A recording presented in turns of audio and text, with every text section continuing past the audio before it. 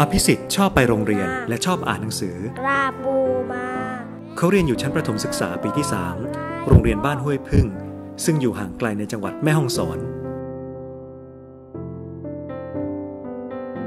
บ้านห้วยพึ่ง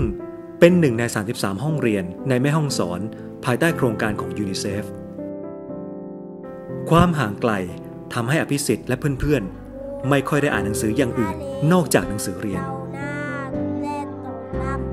ยังมีเด็กๆอีกมากมายที่ตกอยู่ในสถานการณ์เดียวกัน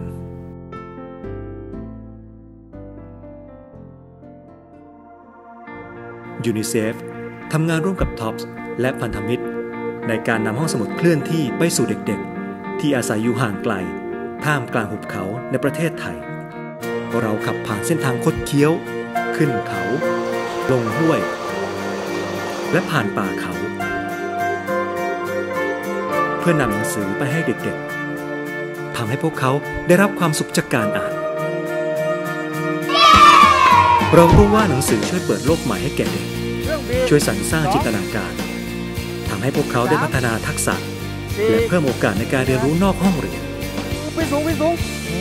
ลงลงตามแล้วลงตามแล้วได้ห้องสมุดเคลื่อนที่แต่ละคัน บรรทุกหนังสือ 1,200 เล่ม ที่เหมาะกับเด็กในแต่ละช่วงอายุ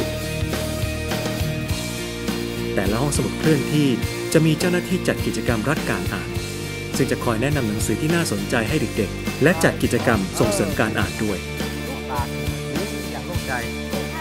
เด็กๆ สามารถยืมหนังสือเล่มโปรดไปอ่านที่บ้านได้ อภิสิทธิ์เลือกเรื่องกลางๆผุบๆกลับมาอ่านให้น้องชายฟังแต่เห็นหนูเห็น อุ้ยนั่งอะไรผมชอบห้องสมุดเคลื่อนที่ครับ เพราะผมอยากอ่านหนังสือเองครับ อ่านหนังสือแล้วจะได้ฉลาดครับ อยากให้ห้องสมุดเคลื่อนที่มาที่โรงเรียนบ่อยๆครับ ขณะนี้เรามีห้องสมุดเคลื่อนที่ 3 คัน วิ่งไปตามโรงเรียนที่ซ่อนตัวอยู่ตามหุบเขาในแม่ห้องสอน แต่เท่านี้ยังไม่พอ การสนับสนุนของท่านจะช่วยให้เราสามารถจัดหาห้องสมุดเคลื่อนที่ได้มากขึ้น พร้อมหยิบยื่นกุญแจ ที่จะเปิดประตูแห่งความรู้ และการเรียนรู้ที่ไม่มีวันจบสิ้นให้กับเด็กๆ